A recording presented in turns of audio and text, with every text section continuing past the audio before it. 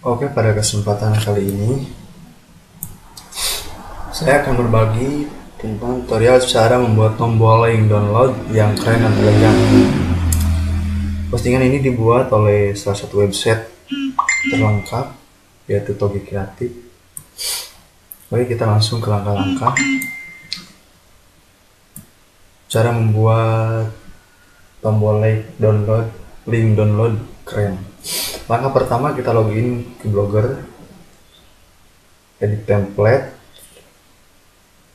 klik template, lalu edit HTML. Langkah ketiga cari kode basecamp. Nah ini nih ya. Nah ini kodenya. Agar pencarian Anda lebih gampang, tekan Ctrl F, lalu masukkan kodenya, lalu tekan Enter. Oke, kita laksanakan. Di sini saya sudah login ya, sudah login Blogger.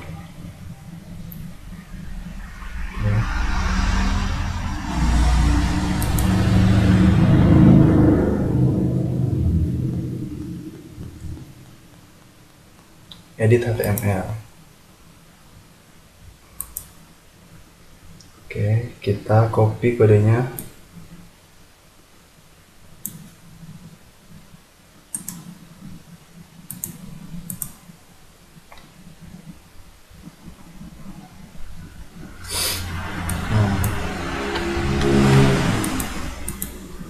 Oke.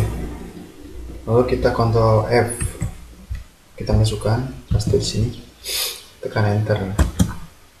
Nah, sudah ada ya. Ini tadi sudah saya mencoba ya. Nah, sekarang kita hapus dulu. Taruhlah kita belum mengkopinya ya. Nah, setelah itu lanjutkan ke langkah-langkah. Langkah keempat, salin kode CSS di bawah ini dan pastikan di atas kode video skin. Oke, kita salin.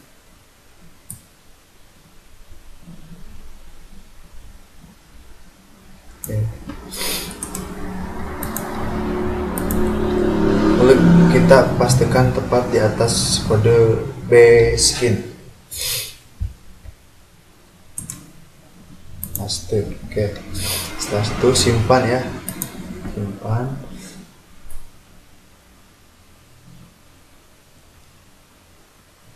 Udah. Lanjut ke langkah-langkah. Untuk membuat tombol berada di samping kiri, ubah teks elegant menjadi teks elegant left di dalam bottom. Ya, ini yang dimaksud ini nih. Nah, ini. Yang yang dimaksudnya ini. Ini rubah tinggal center jadi left. Kemudian simpan template sudah. Langkah kelima, untuk menggunakan tombol link downloadnya, tuliskan kode di bawah ini pada postingan. Ingat mode postingannya harus mode HTML. Oke. Kita salin. Nah, untuk di sini ada catatan. Yang pertama ganti link ini.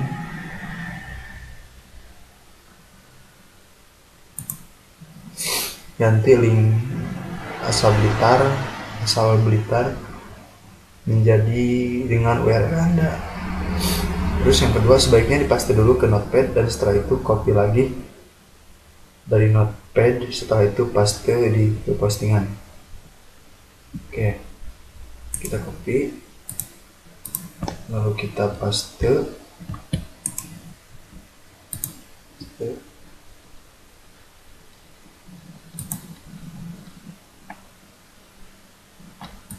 Oke. Copy lagi. Lalu kita ke postingan ya kita kasih nama aja.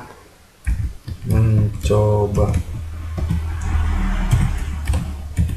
Tombol link nah, nah ingat postingan kita harus mode HTML caranya klik ini HTML setelah itu paste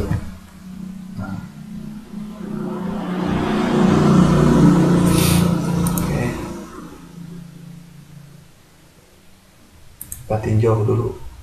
Sebelum publikasi kita pelatih jauh dulu apakah sudah berjalan atau tidak. Soalnya biasanya suka ada yang error.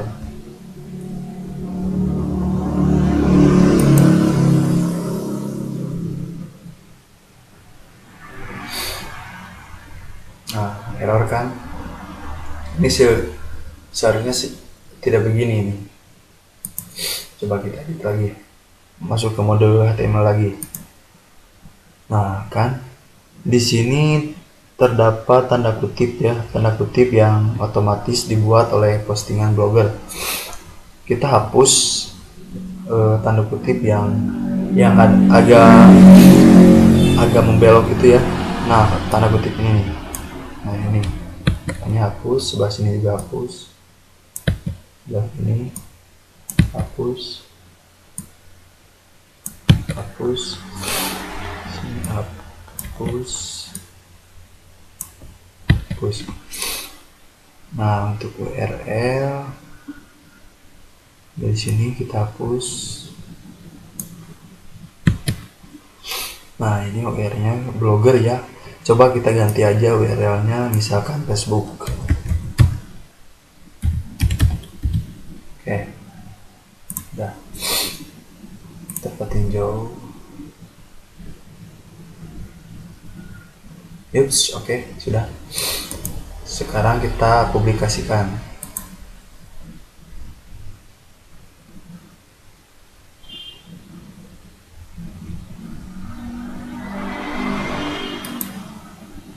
Oke, kita lihat.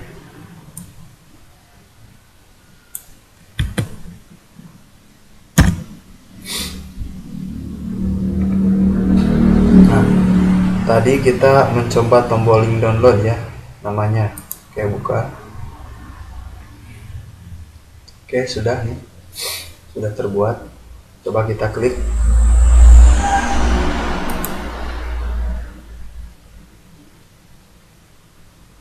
coba kita klik ya oke sudah berhasil nah mungkin itu aja yang bisa saya bagikan.